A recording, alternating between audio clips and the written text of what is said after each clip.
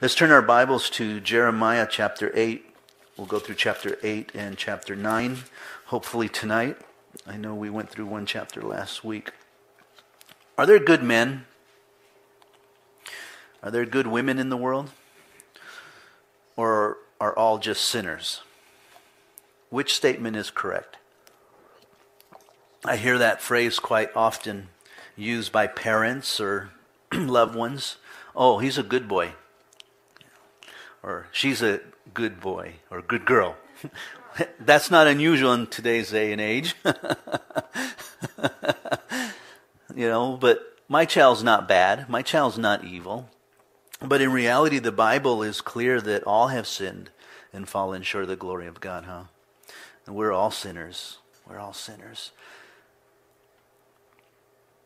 That word sin is, is um, abrasive maybe even offensive to some because we don't like to be told that we're sinners and that we've done something wrong, contrary to God's principles. Oftentimes, the world will say, no, it's contrary to your principles, uh, your ideas, your ideologies, and so forth, and you're trying to push your stuff on us and that's offensive to us. You know, leave us alone. We don't we don't need your moral values. We don't need Christ. There is no God.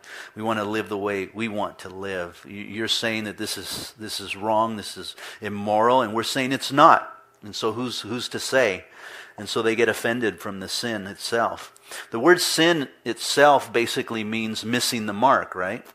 It's it's the Hebrew and the Greek term that means that God has set a standard and we've missed that standard basically. Now that's not as offensive. We missed the mark. We we we use the word mistake. We made a mistake um, back during the times when um, kings were kings and so forth. They would have archers, and they would practice by putting um, targets out 100, 200 yards or so forth, and then the archers would take their bows and they would pull back on the string and then they would shoot their arrows at the target. And they had a center in the target, usually a red dot of some sort or an X to show that that was the center of the target.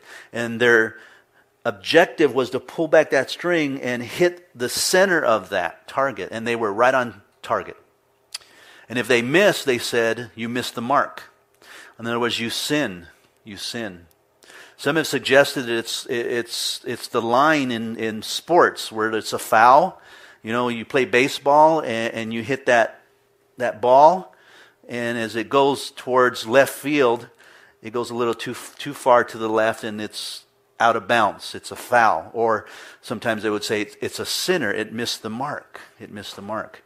That's what sins is, is missing the mark. You go back to Genesis and you see the whole account of Adam and Eve and God directing Adam exactly uh, what he can do, and that is have of anything that he wants, of everything that he wants, except for one thing, and that was that tree of knowledge of good and evil. That was the one thing that he could not have of everything else uh, that, that God had created. I'm thinking of a quote here. I, I think it was by, by Mark Twain who said that it's interesting how we can have everything but feel like we don't have nothing when there's one thing denied to us. You know, isn't that interesting? If someone tells you don't do that or don't go in that room, something in our brain clicks, you know, like a little time clock and says, why can't I go in there? Who says I can't go in there? I'm going to go in there. What's going to happen if I go in there? And so we become rebellious uh, to the directions and, and we don't obey and we end up going in there and then we find out there's a boogeyman in there, you know, something that's going to eat us up. You know, and we were told not to do that. But there's something about, you know, that little sign that says, do not step on the grass. And what do we do? We go and step on the grass because we just want to be defiant. You know, that's our sinful nature. God said, look, uh, of everything in the world is all yours. you can have everything. Just don't eat this one tree. I kind of wonder, and, it, and this is all supposition, but I kind of wonder, you know, here we are in California. Israel is way over there, you know, and that's where they they were at, Euphrates River, wherever that is now. The flood, we don't know exactly where it's at now because it all got covered up. But you just have to ask yourself: Was the tree like visible to them? And if it was, why didn't they move further away from it so that they weren't tempted every morning? I can see them waking up, going, "Oh, there's a tree we can't touch, we can't eat." Oh boy. You know, why not move somewhere else so that you don't see it and then you're not tempted by it? And then I kind of wonder if every, every day they moved closer and then moved closer and moved closer. And of course, we know the story that the serpent came along and tempted, tempted Eve um, to eat of that uh, fruit, and she ate of it.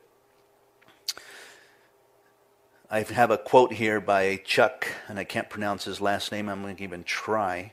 But he said, Did perpetual happiness in the Garden of Eden uh, maybe get so boring that eating the apple was justified? you know, was the last thing that they could do. maybe they thought they could do it.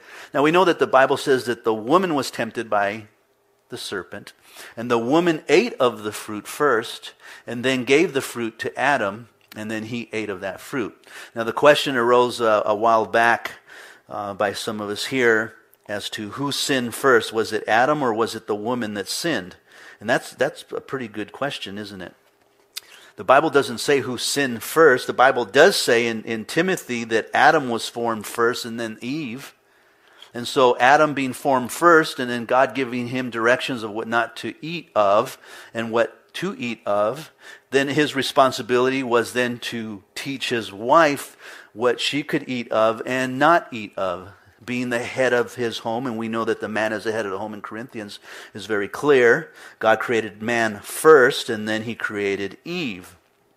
Adam became the life giving being, uh, just like the last Adam became the life giving spirit, Jesus Christ, speaking of Jesus Christ. But nowhere in Scripture does it say that Adam sinned first.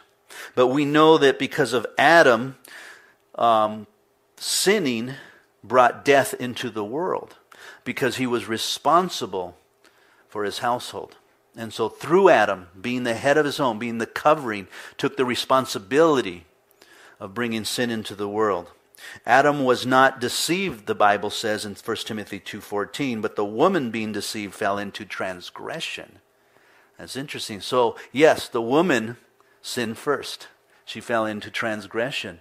But sin came through Adam. The judgment of sin came through Adam because he was the head of his home. In Leviticus, and I don't know exactly where it is, it just came to mind, but in Leviticus, you remember reading Leviticus, right? It's that book that you don't like to read too much.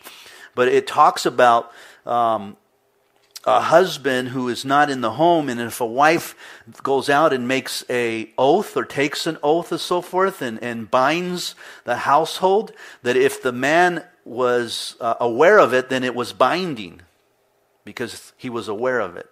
Now if he was not aware of it then it wasn't binding in a sense, because he's the head of household. And she went out and made an oath or a deal without his knowledge of it, and thus, because he didn't have knowledge of it, then it wasn't binding.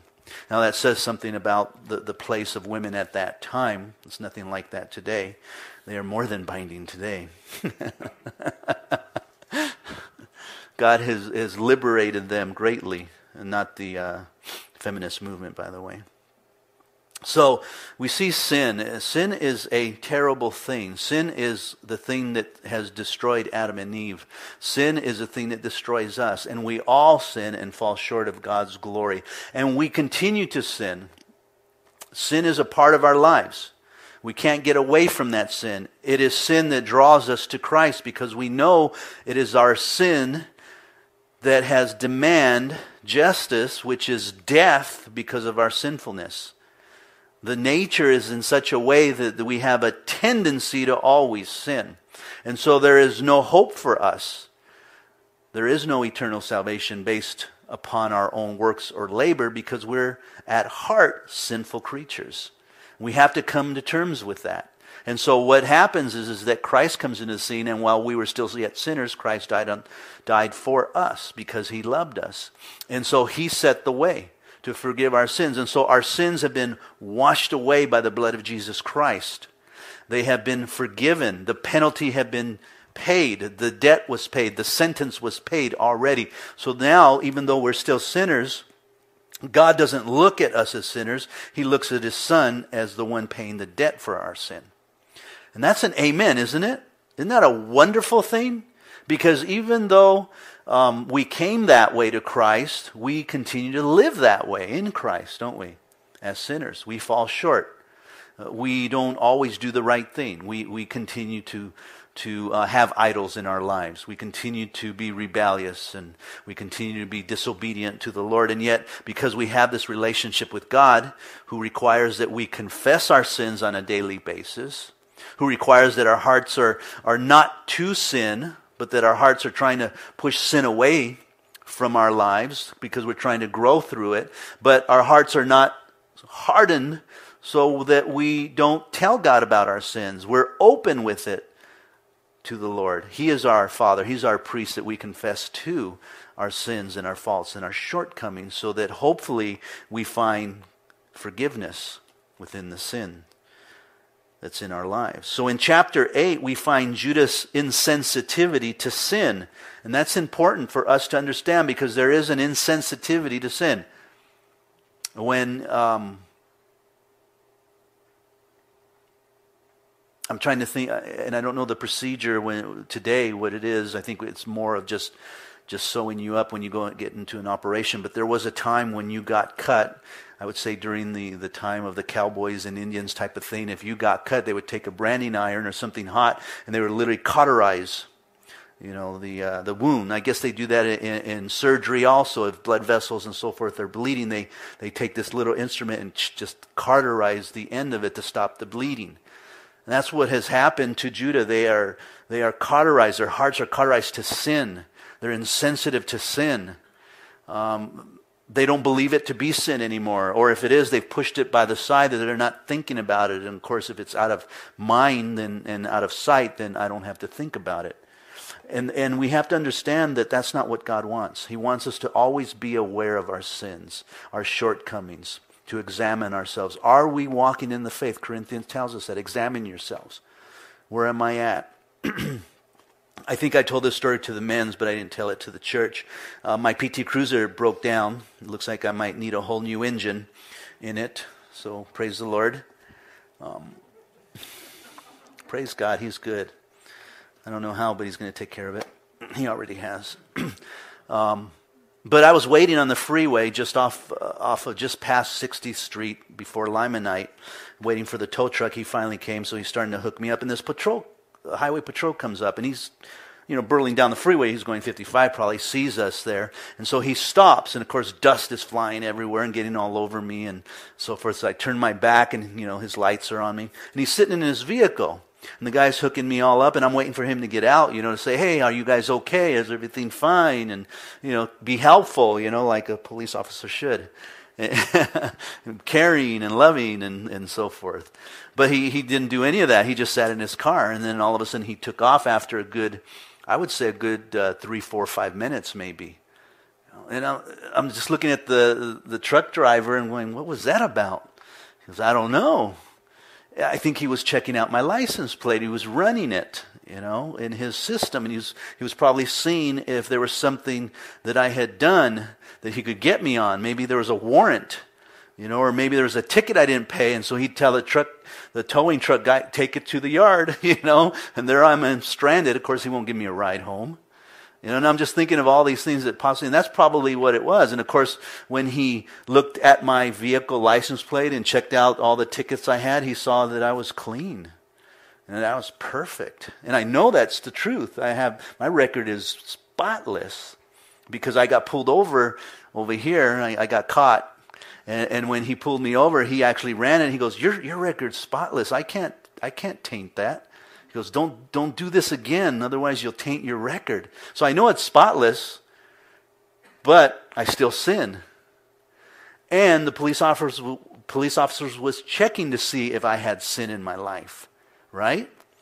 And, and as I was thinking of all this, the Lord just kind of reminded me that's how we should be in our own lives. Looking up on the computer, checking, okay, where's Ruben's heart today? You know, what are you doing? What do you need to do? What do you need to stop doing? And so forth. Are you in sin today? Because we are in sin every day. If you know to do good and you don't do it, the Bible says it's sin. It's sin. And so we should, before we go to bed every night, confess our sins before the Lord.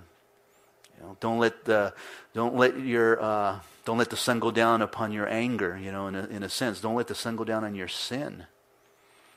we should confess our sins always before the Lord. It's what He wants. If we do not confess our sins, then we will get into trouble because God then has to chastise us to get us to be open to at least observe what we're doing on a daily basis. How did we handle that situation? How did you speak to that person?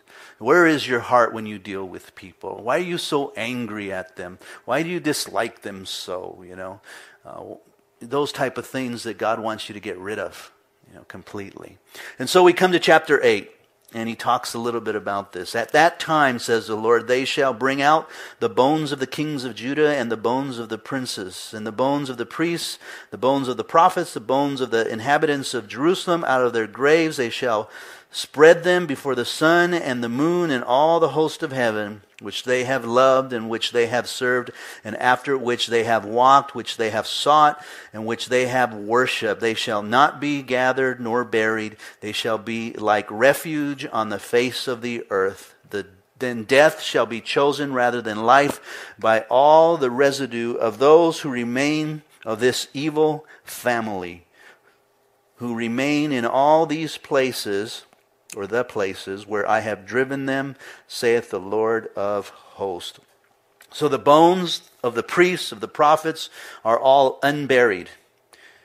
And that's the Lord's doing, so that they remember what they have done. You know, they still do that today. When they took over Gaza and, and the Muslims took that area over, they literally unburied everybody. So we don't want any Jews here. And they unburied everybody and made them move them all out from the area. You know, I find that interesting. It's still something that happens to this day. That's what God did.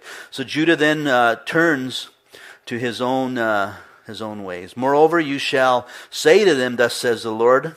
Will they fall and not rise? Will one turn away and not return? Why has this people slidden back? Jerusalem in a perpetual backsliding. They hold fast to deceit and refuse to return. I listened and heard, but they do not speak aright. A man re- repented of his wickedness says, What have I done? Everyone turns to his own course as the horse rushes into battle. Even the stork in the heavens knows her appointed time, and the turtle dove, the swift and the shallow, swallow observe their time of their coming, but my people do not know the judgment of the Lord. How can you say we are wise and the law of the Lord is with us? Look, the false pin of the scribes certainly works falsehood. A wise man are ashamed, they are dismayed and taken. Behold, they have rejected the word of the Lord. So, what wisdom do they have? Uh, interesting that they have rejected the word of the Lord. That's really where it starts rejecting the word of the Lord. This is God's word, and He has written it to us so that we know truth. We understand His will and His ways. And when we begin to reject it, that's when we get into trouble. They had rejected the will of the Lord, the word of the Lord. How do you reject the word of the Lord? By not doing it. One, by not believing it. That's a big issue. Well, I don't believe that part of it. You know, if there's a certain part that's not true in the Bible, then I'm going to go throw this thing in the trash can because then I don't believe any of it. Because it's useless. Then what other parts are, are not true? You know, if you can tell me that there's one section here that's wrong, then there's got to be other sections that are wrong. I, I cannot accept that at all. In, in my own mind and in my own heart, I cannot accept that this thing has flaws or errors in it. Because if it does, then I'm wasting my time here. Because I'm teaching from a book that has a bunch of errors and flaws, and we can't depend on it or even trust in it. And so I can't accept that. So, what I have determined in my own heart is that this book, this word, this Bible is 100% accurate.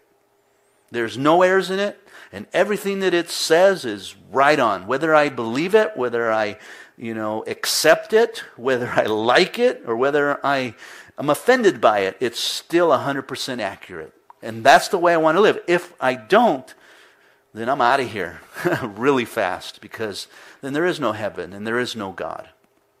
Because I've read the other books and there's errors in them all over the place.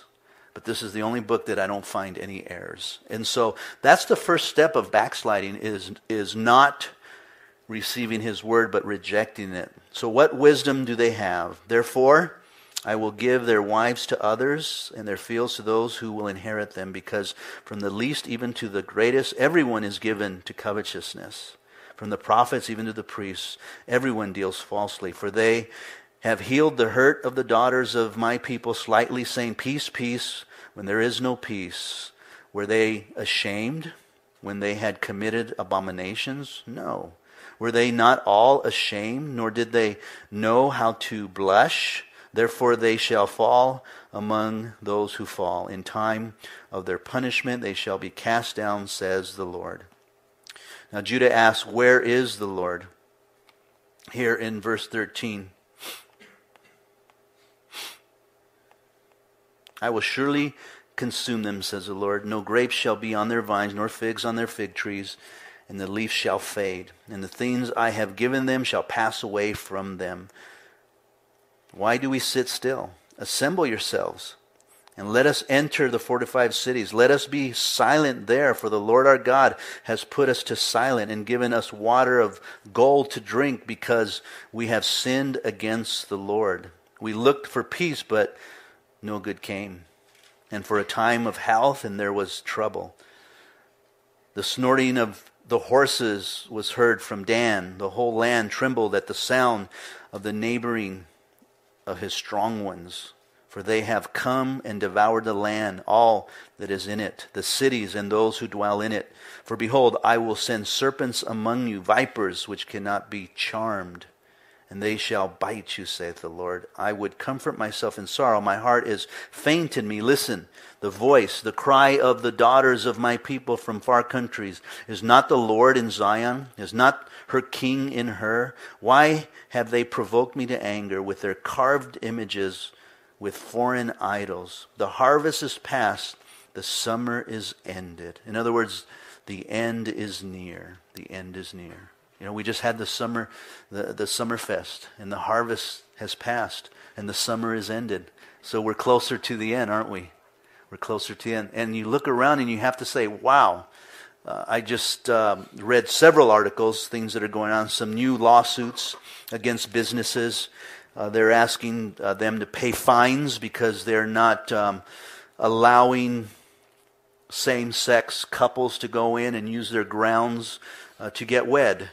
And so they're, they're courts are making them pay each couple fifteen hundred dollar fines for not allowing them. And there's another lawsuit in Kentucky uh, similar to that case. Uh, Texas, where, it's supposed to be the Bible Belt, it's supposed to be where where the strong believers and Christians are. And now this one mayor who is uh, lesbian uh, has decided that she wants to see uh, how many famous pastors out there are are really. Um, haters. So she has demanded through court that they all give her their sermons. And they're going to go through every sermon to see exactly what they've said about same sex marriage, about homosexuality, and so forth. This is happening right now. Right now. This is the kind of stuff that the world is preparing to do against those that are haters because we're not Christians in their eyes. And, this is what's so deceptive. The enemy is so good, is that you have now Christians who are now coming out saying it's okay. It is okay to be homosexual. It is okay. God loves them. He accepts them. They're going to heaven. In fact, they are Christians. And so, because you have these men, these churches, these denominations saying that, then you have an extreme Christian group, the conservatives like us that believe the Bible. They're the terrorists. We need to get rid of them. We need to get rid of them. And it's getting close to home. It's getting close to home. Not Calvary Chapel, but affiliated, related to Calvary Chapel, very close. A man who has just come out and embraced the whole same sex marriage. They mentioned um, Lonnie Frisbee, who was a part of the hippie movement. Chuck had used him. in a mightily way. And then later on down the road, when he, he kind of rebelled against the Calvary movement and went towards the vineyard, and then they got rid of him because he was just so extreme. And then it turned out he, he ended up dying of AIDS because he was a homosexual. And this individual was saying, Here is a man that just loved Jesus. Loved Jesus, and God used him in great ways. And they just said, I just can't believe that he's not a Christian, he's not in heaven. I don't know. I can't judge that. I don't know his heart when he passed away. I don't know. But the Bible is clear that if you practice these things, you will not inherit the kingdom of God. You can't get away from that. And so there's that possibility. I'm not going to say that because they're doing all these great things that they're a Christian. Because you'll go knock, knock on the door. And of course, that's not a literal knock. You know, there isn't a door in heaven that you, we all get up there and we got to knock. He, he's, he's giving us a metaphor that when we get to heaven, God's going to pretty much know that we're not His because we're really workers of iniquity, because our lives really haven't brought forth fruit, a harvest of good fruit in the Lord. But as we look around, and it's going to get worse and worse. There's, there's lawsuits right now trying to take away benefits from pastors so that it makes it harder for them to be pastors. Because if you hit them in the pocketbook, then they can't do that. And then they got to do something else and so forth. Um, I don't quote me on this, but there's something like 12 to 1500 pastors quitting every year, quitting the ministry because of what's going on. And of course, uh, many of those have fallen too, and we've known that here recently. So the harvest is past, the summer is ended, so you know that the end is near, and we are not saved. And we are not saved. What a what a implication of their own, you know, sinfulness, right? And we're not even saved. They understood where they were at, and they're walking the Lord because of their their idolatry. Verse twenty one: For the hurt of the daughters of my people I am hurt. I am mourning. Astonishment has taken hold of me. Is there no balm in Gilead? Is there no physician? there, why then is there no recovery for the health, O daughter of my people? I mean, God is literally crying for them, crying for them. I think of Jesus sitting there overlooking Jerusalem and then weeping for it. Oh, Jerusalem, Jerusalem, I wish to gather you as a hen gathers its chicks, but you would not. You, know, you kill and persecute the prophets. And then it would be shortly after that that they would take Jesus and crucify him upon the cross, Jerusalem, entering with millions of people coming to offer up a sacrifice in the Passover day, and they would take him, the true Passover, and crucify him. If Jesus wept and cried over the people in their sin, then God here wept and cried over his people, Israel and Judah, because of their sin. What a heart! What a God we serve. One that weeps because we sin, because we reject the Word of God. And so, like God, we become weeping prophets in a sense. How many have ever wept over sin? How many have ever felt dirty because of sin? I mean, there's those times where you're just like, man, you know, you want you want to go in the shower and you start scrubbing and scrubbing, going, how can I be so sinful? I've been there just scrubbing, and then I'm all clean and red, and you're like, I still feel it. Disgusting.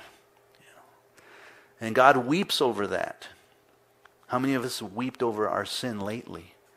A sin that we're involved in. It's a hardened heart that doesn't weep over the sin that we're in. And so, like God, his people, who are his people, they begin to weep too over sin. you know, I haven't felt that weeping in a while. When I first got saved, I used to go witnessing out downtown Riverside quite often and just stayed really busy serving the Lord in, in those areas and, and a lot of praying, a lot of weeping for lost people. Uh, I always could see the lost people, especially when I was working. I, I, viewed everybody as a lost person, always took opportunities to somehow share with them, you know, find a word, a phrase that they said, and boom, I, I snuck in there and shared the gospel, you know, because they opened it up and so forth. and in these latter years, you know, preaching it every day and looking for those opportunities, it continues on. But, but the weeping, you know, I, I don't think I've wept as much. Uh, as then as with the summer fest. Every time I'd go out there on Friday night for those 11 weeks, you know, going out there, it, it just looking at the little kids, you know, those little Mexican faces, those little girls with long black hair and running around and getting their nails and their faces painted. And I'm like, man, Lord, you just got to tell them that Jesus loves them. It was just such a neat feeling that, that we were there to let them know Jesus loves them. He cares for them. I just wanted so badly that they just come to the Lord. And then I start hearing the little stories here and there of fruit and people coming to the Lord. And it was like, wow, this is exactly what it's all about, Lord. But the fact of just watching them all there at the park, and we were there and we were intermingled with their lives and we were representing Christ, and they could not understand all that. That was such a neat thing that was taking place at that moment. The spiritual warfare, and yet the, the spiritual blessings and fruit that was there. We won't know it until we get to heaven, what God is going to do there. We won't know it because we don't know how we impacted their lives. And one day, maybe 10 years from now, one of those little kids will go back and remember, I remember when I was going to a park, there were these bunch of people, they're just giving away hot dogs. What was that about? You know?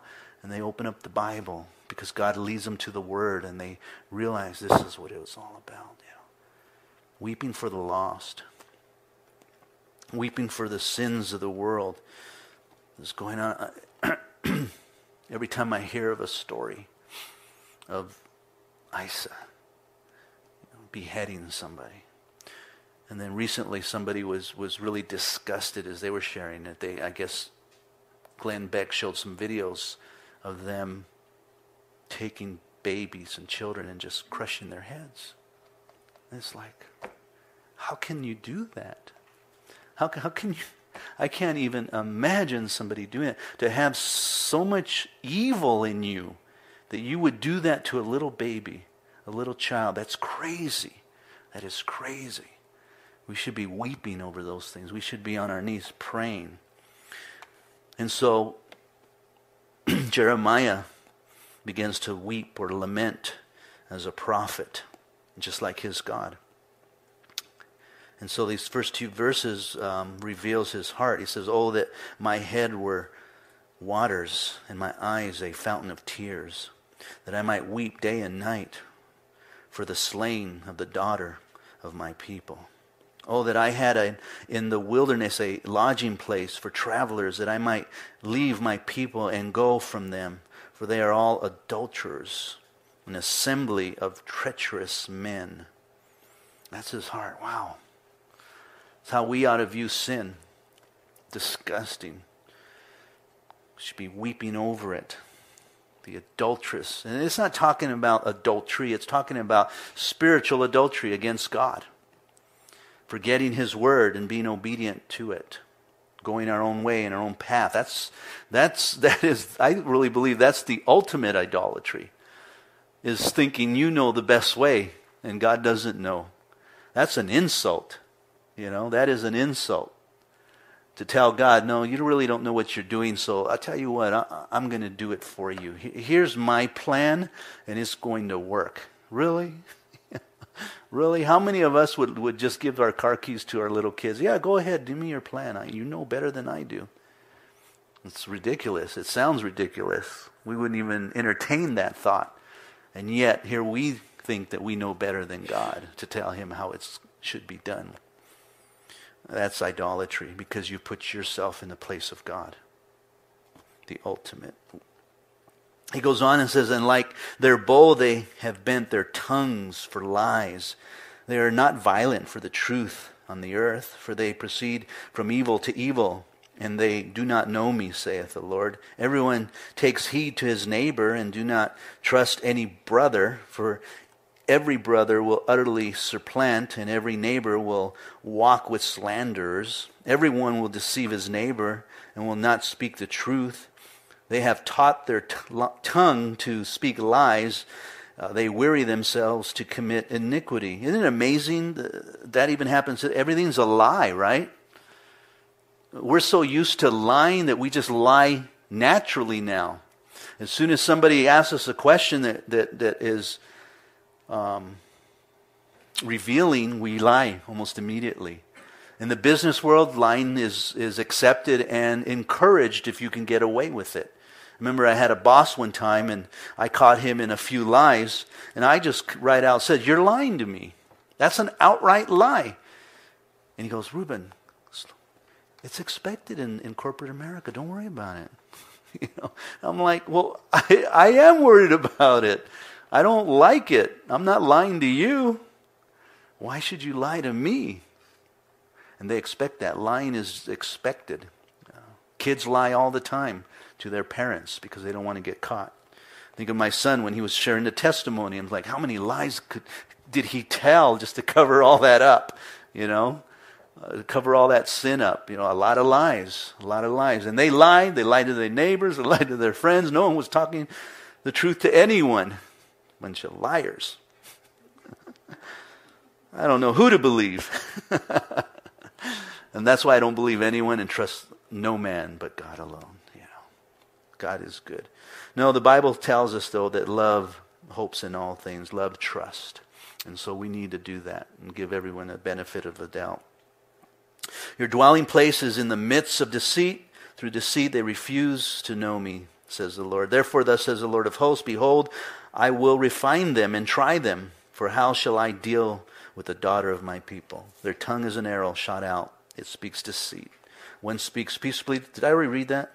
To his neighbor, his mouth, his heart lies in wait. Shall I not punish them for these things, says the Lord? Verse 9.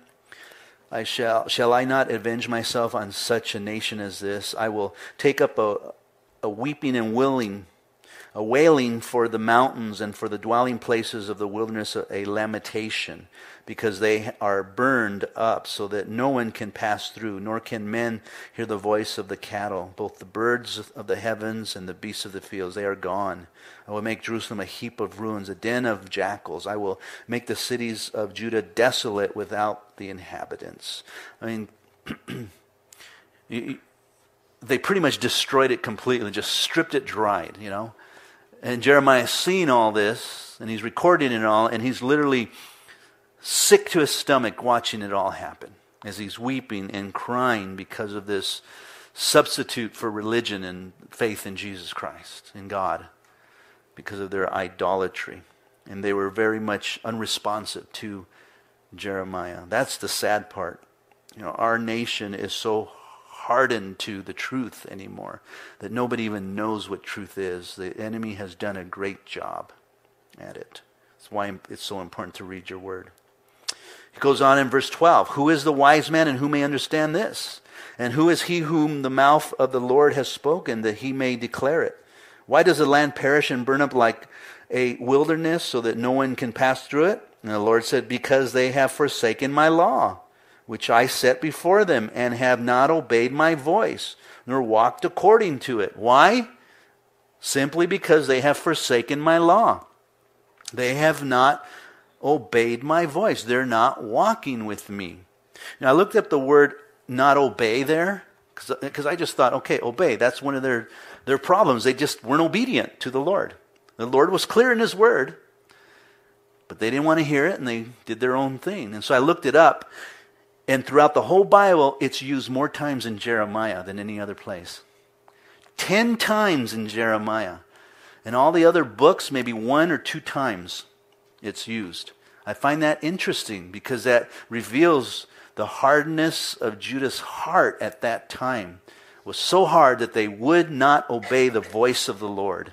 Just wouldn't do it. And that's a sad place to be in your walk with the Lord.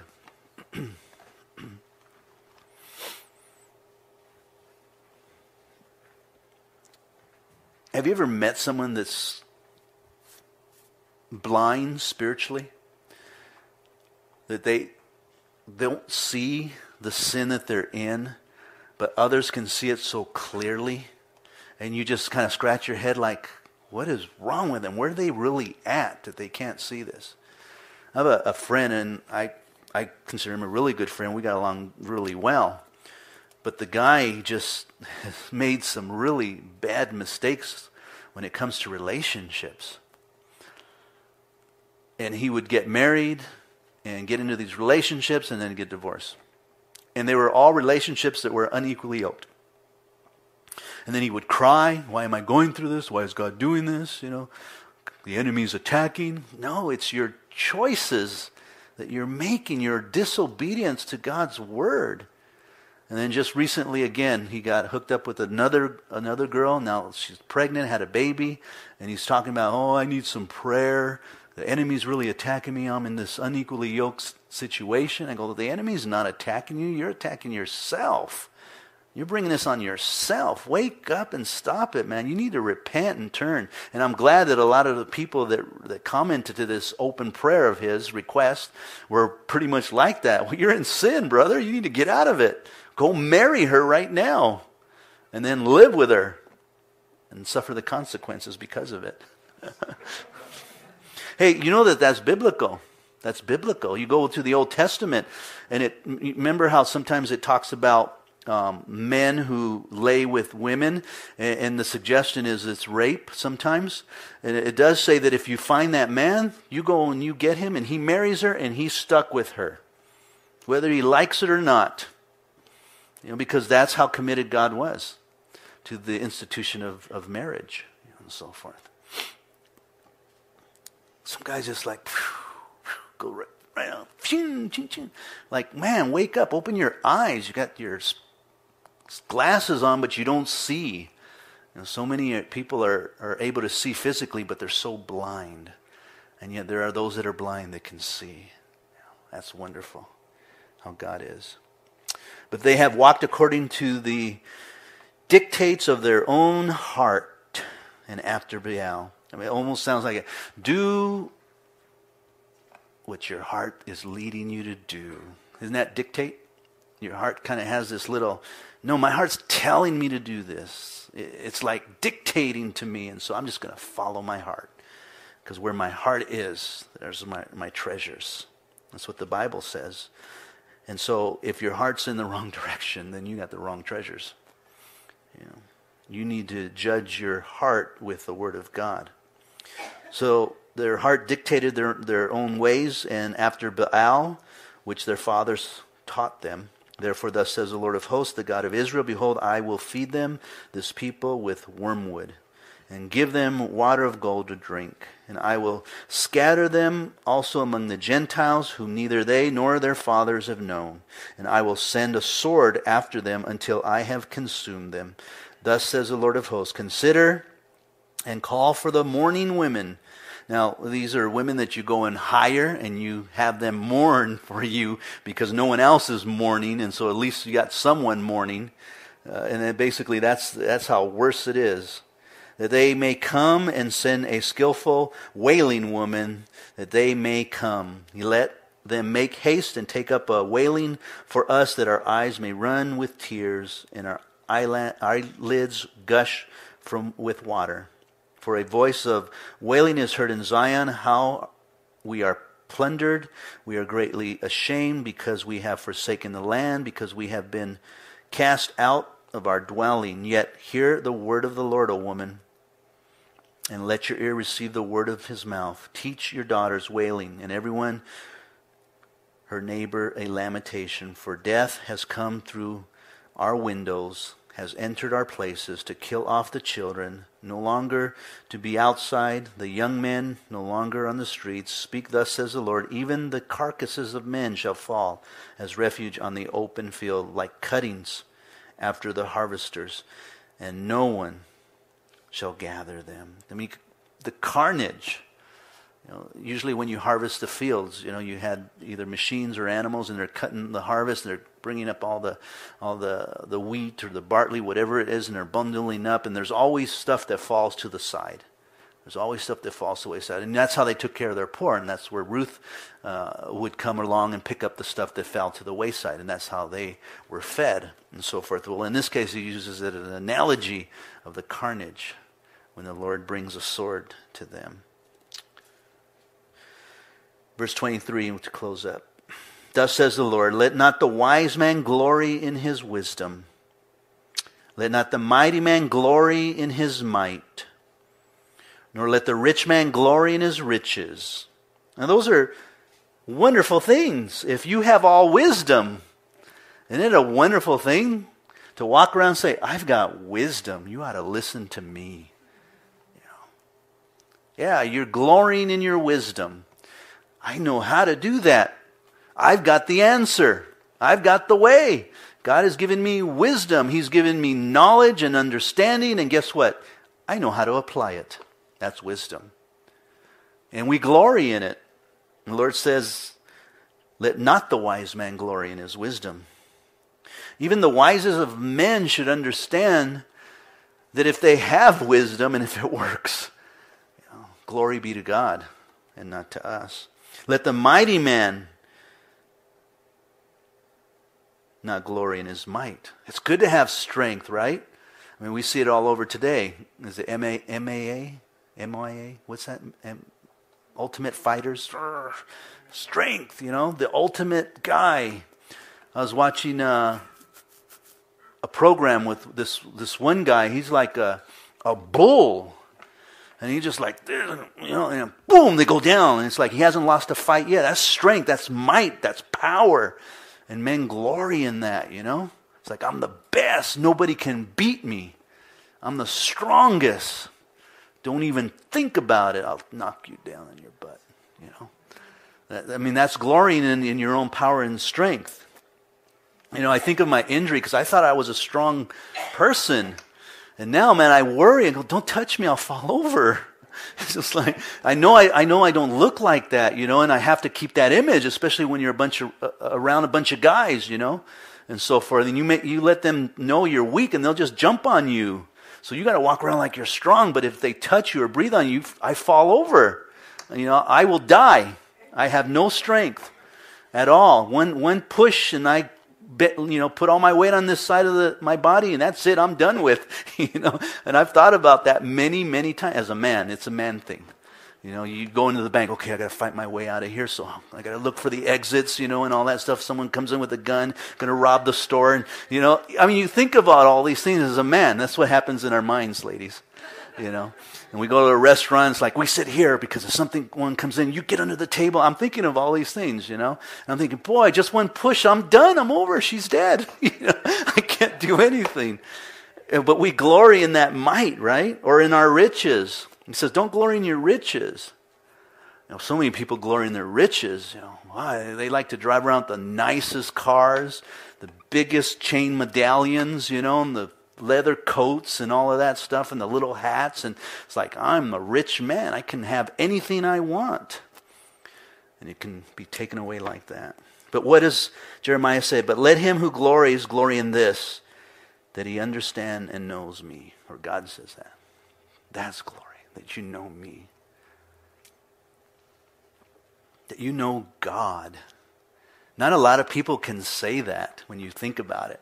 Think about before you knew God. And you knew there was a God, but you didn't know God. Now I know God.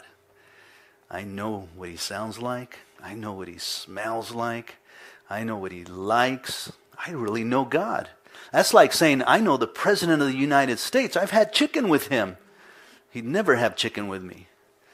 But I know God. That's amazing when you think about it. You're talking about the creator of the heavens and the earth who spoke everything into existence. I know him. When there was nothing at all, he, that's the guy I know. That's the God I know. That's something to glory about. That's something to boast about. That God opened my mind to understand that there is a God. Because there are a lot of people that are walking around thinking they're gods that their riches are God's, that their might is God, or their wisdom is God. No, if you want to glory, glory that you understand and know Him. That is amazing. That I am the Lord. This is how you know Him exercising loving kindness, judgment, or fairness, and righteousness in the earth. For in these I delight, saith the Lord. Do you know the loving kindness of the Lord? Amazing how loving He is to save a wretch like me amazing that he would consider to even accept me into the kingdom of God because he really shouldn't. By all means, he should be rejecting me and kicking me out. But his loving kindness, that he would still welcome me in to the kingdom of God. That's love and kind. That's the God that we serve. And his judgment or his fairness, that he's fair. He doesn't play sides. He understands. He's going to do the right thing for us and righteousness on the earth. And he delights in these things. That's something to glory about, that you know him. Behold, the days are coming, saith the Lord, that I will punish all who are circumcised with the uncircumcised. You see, it's not religion. It's not whether you're circumcised or uncircumcised. We all know what circumcision is. It's a very painful covenant that God had with Abraham. And it was to remind them of the covenant that God made with them. And then Paul comes along and says, that's useless. Because God doesn't want the circumcision of the foreskin, He wants it of the heart. Of the heart. Because whether you're circumcised or uncircumcised, God says, I'll consume you both. What I want is a heart, a contrite spirit. That's what the Lord wants before Him. Egypt, Judah, Edom, the people of Ammon, Moab, and all who are in the furthest corners who dwell in the wilderness, for all these nations are uncircumcised, and all the house of Israel are, are uncircumcised in heart. So, what is he talking about? The heart. God wants to get to the heart of the matter. He wants your heart. He loves your soul. He loves your spirit. He loves you. It's not your works of righteousness or your acts. It's just His grace. And you receiving that grace freely and willfully, saying, Thank you, Lord, for being gracious to a wretched sinner like me.